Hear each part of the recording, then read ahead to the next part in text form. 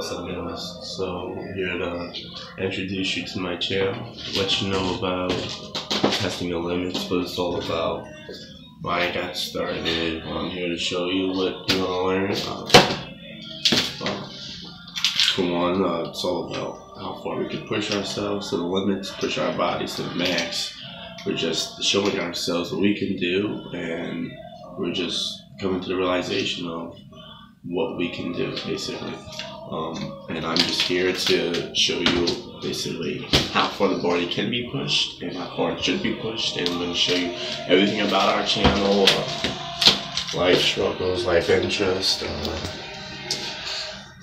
everything's just going to be uh, interesting with us. Uh, like I said, always, we always accept new workouts, new ways to show everybody what we're going to do around here. Uh, you know, we travel to different gyms, uh, we work out with different people, so we can get a wide variety of everything that's basically going on.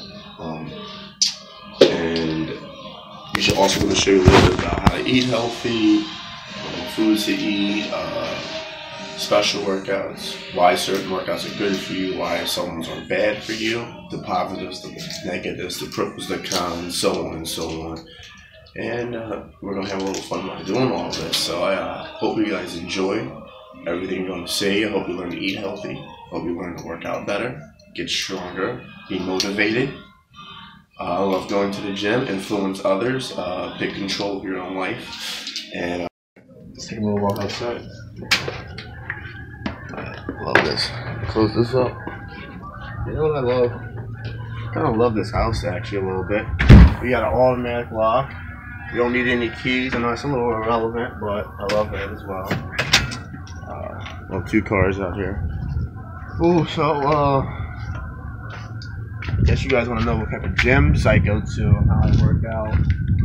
Uh, uh, well, most of our gyms are Planet Fitness, LA Fitness, Pure, Relentless, Blink Fitness, Sweat, um, they're not really, besides elevators, they're not really huge gems. They're not really that big, but I'm showing you that you don't need to be in a gym full of people who are huge, doing all types of roids with 200 pound dumbbells to get stronger and improve and actually become stronger than the people who do go to those types of gyms. Uh, they're like big things come in small packages. Uh, like, take a look at our garden. Take a look at our garden. Look at this. Beautiful garden. It's winter now, so it's dying up a little bit. Uh, take a look at that. Everything, basically. Um, so come on.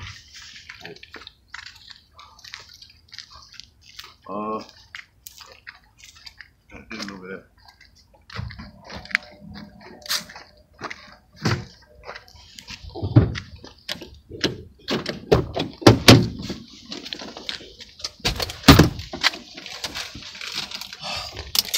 we're gonna take a drive to the gym that I use most uh, most of the time.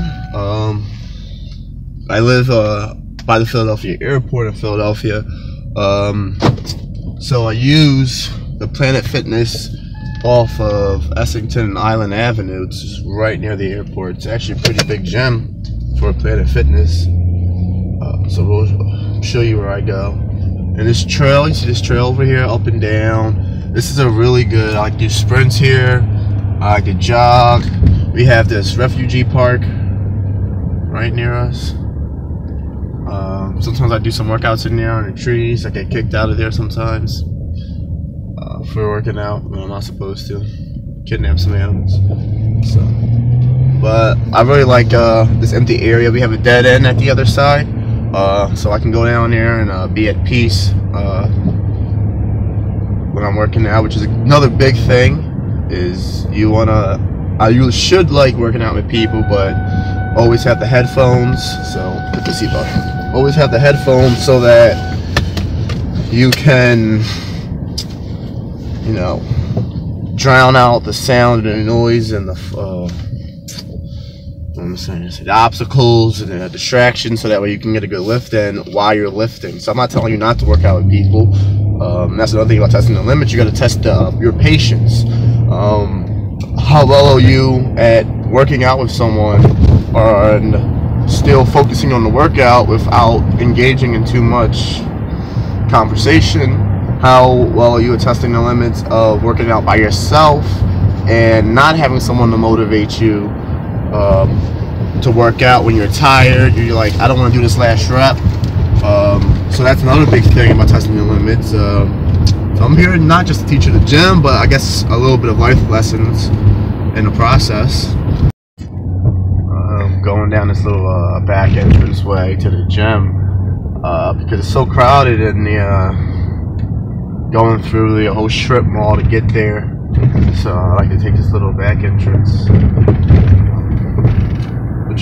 We're almost there now. It's only about a mile away from uh, from the house. So sometimes I take a little jog to the gym in the mornings to get myself going, take a little jog home. That way I can get to the gym and get my cardio in both at the same time. Waste less gas.